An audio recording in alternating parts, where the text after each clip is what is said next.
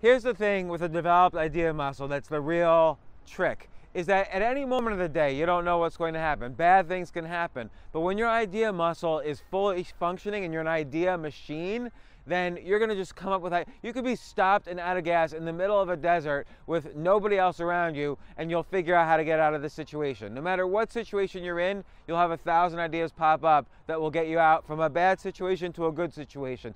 That's why it's magic. That's why you create your opportunities with it.